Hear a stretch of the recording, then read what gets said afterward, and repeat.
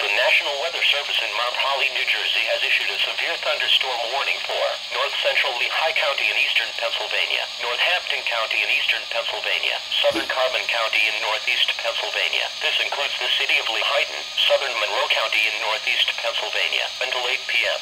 At 7.19 p.m., National Weather Service Doppler radar indicated a severe thunderstorm capable of producing quarter-size hail and damaging winds in excess of 60 miles per hour. This storm was located near Jordan Valley, or near Lehighton, and moving east at 45 miles per hour. The severe thunderstorm will be near Walnutport around 7.30 p.m., Bearsville around 7.35 p.m., Bath around 7.40 p.m., Nazareth around 7.45 p.m., Belfast, Wind Gap, Chatham and Pen Argyl around 7.50 p.m., Bangor around 7.55 p.m. Doppler radar has indicated some weak rotation within the storm. While not immediately likely, a tornado may still develop, tornado is spotted, act quickly and move to a place of safety in a sturdy structure, such as a basement or small interior room. In addition to large hail and damaging winds, continuous cloud-to-ground lightning is occurring with this storm. Move indoors immediately. Lightning is one of nature's greatest killers.